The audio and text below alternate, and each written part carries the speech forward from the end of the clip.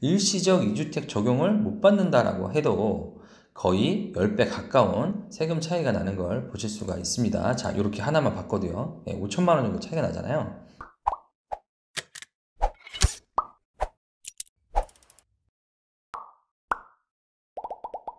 안녕하세요. 사마리아입니다. 여러분이 생각하시는 성경에 등장하는 그 착한 사마리아인 맞고요. 제 채널은 경제적 어려움에 빠져 텅 빈 여러분의 주머니를 채워드릴 이야기를 해볼게요. 제가 주로 하는 일은 돈 버는 일, 돈 모으는 일, 돈 불리는 일. 제 주특기는요. 돈 버는 일, 돈 모으는 일, 돈 불리는 일. 불행히도 뻥 아니고요. 여러분들 은행 가시면 만나는 사람들 가르치는 일도 하고요. 어쩌다 보니 베스트셀러도 내봤고요. 여하튼 쓸데없는 소리가 길었네요. 제 채널은 아주 쉽게 돈 모으는 법, 부자 되는 법 알려드릴게요. 재테크 무식자들도 엑셀 하나만 있으면 누구나 부자 되는 법 지금부터 알려드릴게요. 잠깐 컴퓨터 켜고 일단 엑셀 열고 준비되셨으면 시작하겠습니다.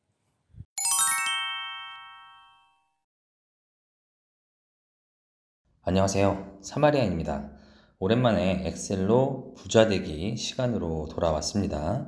어, 요즘 이딴 부동산 정책들의 변화로 머리 아프신 분들이 많으시리라 생각이 듭니다. 오늘은 부동산 투자 시 꼭 알아두어야 할 부동산 세금 중에서도 이번에 710 대책으로 복잡하게 바뀐 취득세법을 기준으로 직접 취득세를 계산할 수 있는 일명 취득세 계산기를 엑셀 하나로 만들어 보는 시간 갖도록 해보겠습니다. 어, 오늘 영상을 시청하시면 취득세 계산기 사용법은 물론이고요. 이번에 바뀐 취득세 법안의 기본 개념까지도 완벽히 정립이 되실 테니까요. 포기하지 마시고 끝까지 시청 부탁드릴게요. 자, 지난 액부기 영상을 아직 못 보신 분들이 있다면 제가 우측 상단에 링크 남겨놓겠습니다. 확인하시면 좋을 것 같고요. 오늘 강의에 사용된 취득세 계산기 예제 파일은 하단 더보기란에 다운로드 링크 남겨놓겠습니다. 취득세 계산 시에 활용하시면 좋을 것 같아요. 자, 본격적인 문제 풀이로 들어가 보겠습니다. 어, 현재 A주택을 보유하고 있는 영우 씨라는 분이 있네요. 새로운 주택을 구입할 예정이에요. 어, 그런데 이번에 바뀐 취득세법으로 인해서 취득세가 대폭 인상된다고 하니까 이 문제로 골머리를 앓고 있는 것 같습니다. 요즘 이런 분들 굉장히 많으시죠? 자, 하나씩 살펴볼게요. 첫 번째 문제입니다. 올해로 35세가 된 영훈 씨가 현재 부모님이랑 같이 살고 계신 것 같아요. 어, 근데 이런 경우에 취득세 중과가 될까 하는 문제입니다. 자, 일단 이 문제를 풀기 위해서는 취득세의 기본 개념부터 살짝 알아보고 가야 할 것 같습니다. 어, 기존 취득세율을 보시면 양도세와는 달리 아주 심플한 법률이다 라는 걸 아실 수가 있을 거예요. 자, 기존 취득세법은 음, 크게 세 가지만 확인하시면 됩니다. 첫 번째는 주택이냐 아니냐 그리고 주택이 아니면 그냥 4.6%를 적용하면 됩니다. 예를 들어서 오피스텔, 상가 뭐 이런 게 다 주택이 아니죠. 자, 주택이라면 매매 금액과 크기를 확인하시면 됩니다. 자, 6억 이하면 어, 1%고요. 그 다음에 6억 초과 9억 이하 같은 경우는 2%, 9억 초과라면 3%가 적용이 됩니다. 여기에다가 주택 전용 면적이라고 하죠. 예, 85제곱미터 초과라고 하면 농어촌 특별세 0.2%가 가산이 되고요. 그 다음에 취득세의 10%에 해당되는 지방교육세를 더하시면 최종 취득세율이 됩니다. 이게 끝이에요. 어, 개념만 알면 누구나 이해가 쉽죠. 근데 이번 문재인 정부에서의 이딴 누더기 법안 통과로 인해서 취득세가 엄청 복잡해졌습니다. 자, 그 내용은 뒤에 자세히 좀 설명을 드릴게요.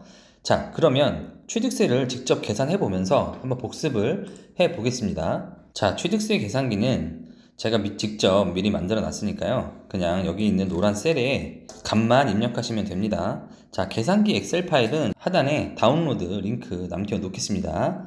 자, 한번 그럼 계산해 볼게요. 자, 취득가액입니다. 자, 취득가액이 얼마죠? 네, 여기 보시면 음, 6억에 구매를 한다고 되어 있네요. 자, 그럼 취득세 계산을 한번 해보겠습니다. 기존대로. 자, 취득가가 얼마입니까? 네, 6억. 네, 이렇게 6억을 입력을 하고요. 자, 주택인가 아닌가? 예, 주택이죠. 자, 주택이 아니면 모두 4.6%의 세율을 그냥 적용을 하시면 됩니다. 자, 취득세율은 어떻게 될까요? 네, 6억 이하, 6억 초과, 9억 미만, 9억 초과. 이 부분만 확인하시면 되겠죠. 자, 6억 이하니 6억이니까 6억 이하를 선택을 해 볼게요. 자, 그리고 농어촌 특별세입니다. 85제곱미터 초과에 대해서는 0.2%의 농특세가 부과가 됩니다. 문제에 보면 면적에 대한 얘기는 없네요. 자, 그러면 자, 85제곱미터 이하로 한번 해보겠습니다. 이렇게 되면 자, 어, 6억 미만 주택의 취득세율은 1%, 거기에 농특세는 가산이 없고요. 85제곱미터 이하니까 그리고 지방교육세는 취득세의 10%인 0.1%를 더하게 되면 총 취득세율은 1.1%가 됩니다. 아주 간단해요. 취득가액에다가 총 취득세율을 곱하면 납부할 취득세액이 됩니다. 이게 끝이에요. 자, 여기까지가 취득세 계산의 기본 원리였고요. 자, 문제를 풀려면 이번에 바뀐 취득세 내용도 좀 살펴봐야겠죠. 자, 개정 내용들을 좀 하나씩 살펴보겠습니다. 어, 자세한 취득세 개정안 설명이 궁금하신 분들이 있다면 제 지난 영상을 확인 부탁드리겠고요. 어, 간단히 하나씩 어, 바뀐 내용들을 간략히 한번 말씀드려 보겠습니다. 어, 보유 주택수에 따라서 취득세율이 변경되었습니다. 조정지역 기준 1주택자는 기존 그대로고요. 2주택부터는 8%, 그 다음에 3주택 이상인 경우에는 12%가 적용이 됩니다. 비조정지역 같은 경우는 어, 조정지역에 비해서 1주택을 조금 음, 감면을 해줬어요. 그래서 2주택까지는 기본세율, 그 다음에 3주택이 8%, 4주택 이상일 경우에 12%가 적용이 됩니다. 자, 법인 투자자 같은 경우는 무조건 12%가 적용이 되네요. 앞으로 법인 부동산 투자는 할 생각도 하지 마라. 아, 이런 의미 같습니다. 자, 일시적 2주택에 대한 내용도 있어요. 일시적 2주택인 경우에는 기존대로 하겠다라는 내용이고요.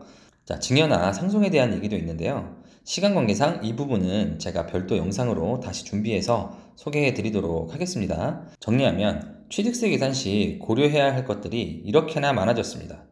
기존에는 주택인지 아닌지, 그 다음에 취득가액이 6억이 넘는지 9억이 넘는지, 아니면 85제곱미터 이하인지 초과인지, 뭐 이 부분만 확인하면 됐었거든요. 음, 근데 바뀐 내용을 보면은 이거 외에도 조정지역인지 아닌지, 그 다음에 1세대 몇 주택인지, 그 다음에 일시적 2주택인지 아닌지, 그리고 언제 취득했는지, 뭐 법인인지 개인인지, 그 다음에 분양권이나 입주권이 기본 주택 외에 있는지 없는지, 그리고 공동명의인지 아닌지, 그 다음에 합가한 경우라든가 분가한 경우에는 부모님의 나이라든가 자녀의 나이 같은 것들까지도 다 확인을 해야지만 취득세가 어, 계산이 됩니다.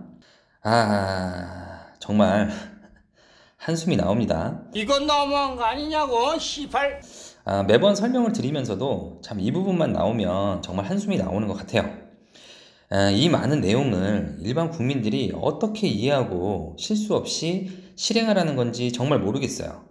뭐 꼬우면 세금 폭탄 맞던지 아니면 돈 주고 세무사 쓰던지 뭐 이런 건가요?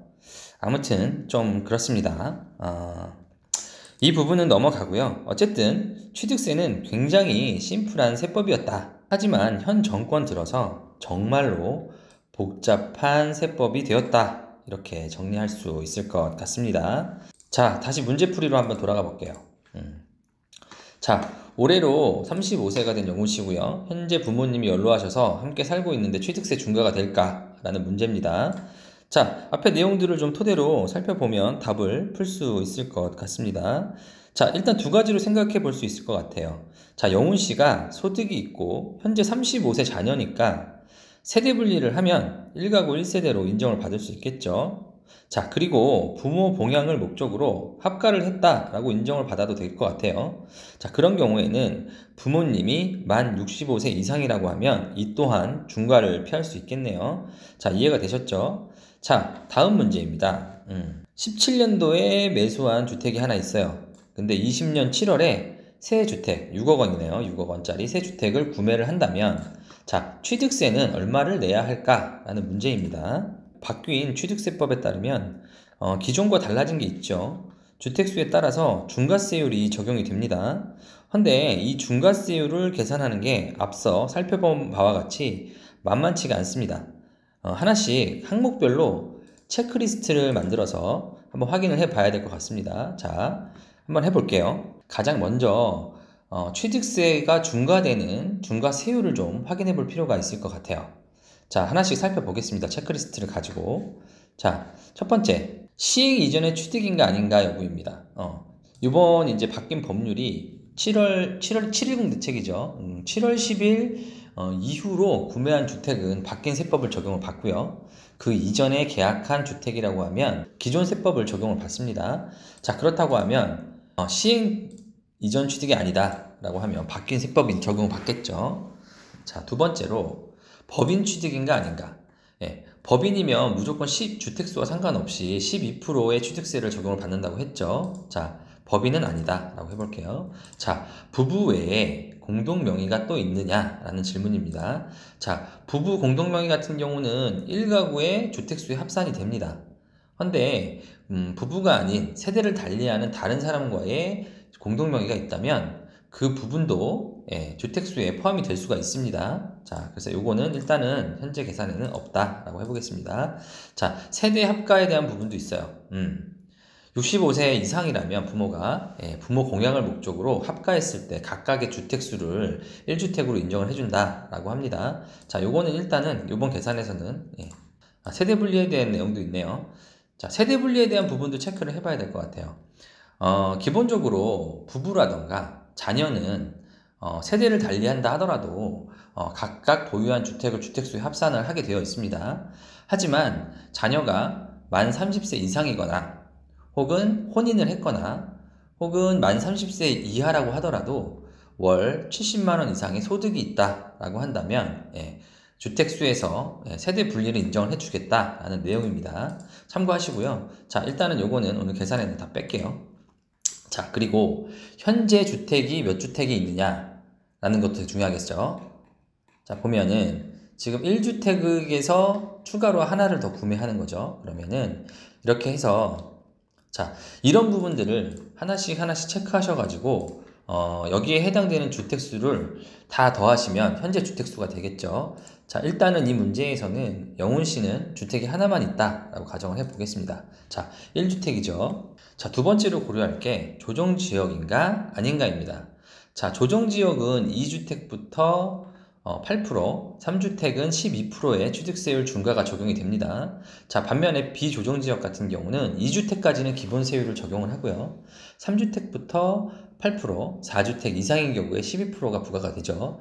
자, 그러면 기존의 주택을 하나 가지고 있고 새로운 주택을 하나 더 구입을 하는 상황에서 자, 해당 지역이 조정 지역이냐 비조정 지역이냐에 따라서 어, 중과되는 세율도 달라지게 되겠죠. 자, 일단은 조정 지역이라고 한번 해 보겠습니다. 자, 그러면 기본적으로 8%잖아요. 네, 8%인데 여기서 하나 더 고려하셔야 될 게 있습니다. 자, 일시적인 2주택이냐 아니냐. 앞서 살펴본 내용과 같이 어, 2주택인 경우에는 8%의 세율이 이제 적용이 됩니다만 일시적 2주택이라고 하면 기본 세율을 적용해 주겠다라고 명기가 되어 있습니다. 다만 이 경우에는 어, 기존 주택을 기간 내에 매도한 경우에만 어, 적용이 되고요.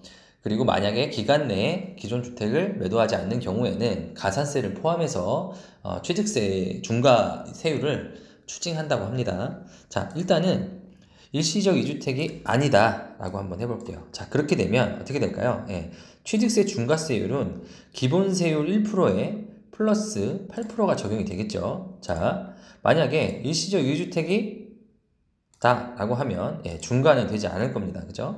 예, 일단은 이렇게 중과된다라고 가정을 하고 한번 계산을 해 보겠습니다. 일시적 2주택이 아니에요. 자, 그러면 기본세율 1%에 중과세율 7%를 더해서 8% 세율이 적용이 되겠네요. 그 바뀐 내용을 가지고 취득세를 한번 다시 계산해 보겠습니다.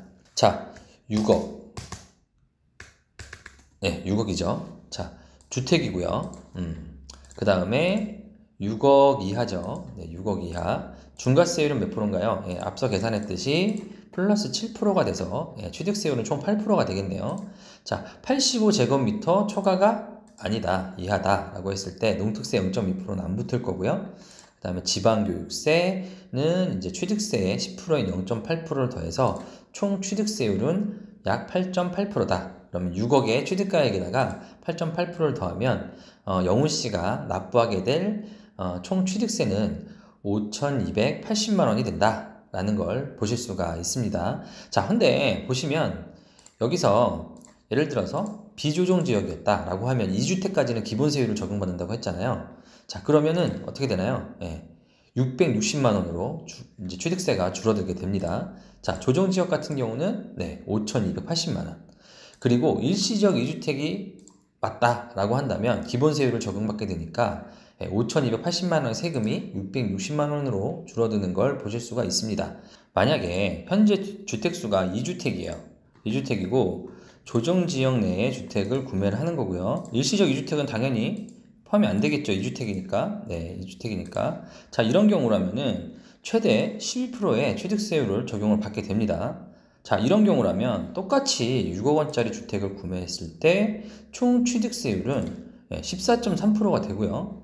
이런 경우에는 8,580만 원이라고 하는 어마어마한 취득세를 내야 할 수도 있습니다. 자, 앞서 보신 바와 같이 자, 이렇게 예, 조정 지역이 아니고 일시적 2주택이다라고 한다면은 자, 어떻습니까? 660만 원이잖아요. 음. 근데 똑같이 6억 원의 주택을 구매를 했는데 만약에 3주택 이상이고 어, 3주택 이상이다. 혹은 예, 이상이다라고 하면 8,580만 원. 거의 10배가 넘는 세금을 납입을 해야 되는 거죠. 자, 반대로 1주택 똑같이 1주택인데 일시적 2주택 적용을 못 받는다라고 해도 거의 10배 가까운 세금 차이가 나는 걸 보실 수가 있습니다. 자, 이렇게 하나만 바꿔도요. 예, 5천만 원 정도 차이가 나잖아요. 그래서 이 부분 꼭 기억하셔야 된다라는 부분 참고하셨으면 좋겠고요. 자, 마지막 문제도 쉽게 풀어보겠습니다. 자, A주택 취득 당시에는 어, 조- 비조정 지역이었어요. 한데 최근 조정 지역이 되었다고 합니다. 자, B주택 역시 같은 지역이라면 취득세가 중과가 될까라는 문제입니다. 음, B주택의 취득 시점에 A주택이 조정 지역이었다면 당연히 이주택 시 중과가 됩니다. 어, 이렇게 되면 8%가 되겠죠. 자, 이때도 일시적 2주택이라면 기본세율을 적용받게 됩니다. 단, 조정지역에서 조정지역 신규 주택 취득 시에는 일시적 2주택 적용 기간이 현재 1년 내에 기존 주택을 매도하는 조건이라는 점 꼭 기억하셔야겠죠. 이렇게 이번에 바뀐 취득세법을 기준으로 취득세의 기본 개념 및 계산 방법에 대해 알아봤습니다. 자, 보시다시피 눈으로 확인하니까 그 차이가 크게 느껴지시죠? 6억가, 6억짜리 주택 하나를 가지고도 기존에 660만 원 정도 나오던 취득세가 최대 8천만 원 이상까지 나오는 걸 보실 수가 있습니다. 자그마치 10배가 넘는 금액이고요. 여러분들 이처럼 요즘 같은 시기에는 부동산 정책을 잘 모르시면 큰일 납니다. 자, 요즘 눈 뜨고도 코베 가는 세상이란 말이 돌더라고요. 자, 예전에는 눈 감으면 코베 가는 세상이라고 했었는데, 어, 그만큼 눈 뜨고도 당할 정도로 자, 무서운 요즘이다. 정신 똑바로 차려야 된다. 이런 의미가 아닐까 싶습니다. 자, 이 영상을 보시는 주변 지인분들 중에 이런 상황이 있으신 분들이 계시다면 어, 이 영상 꼭 공유를 부탁드리고요. 여러분들의 조언이 한 사람의 인생을 구할 수도 있다는 거 명심하셨으면 좋겠습니다. 자, 엑셀로 부자 되기를 통해서 앞으로 다양한 돈 되는 이야기들을 소개해 드릴 예정이니까요. 구독, 좋아요, 알림 설정도 꼭 부탁드리겠습니다. 감사합니다.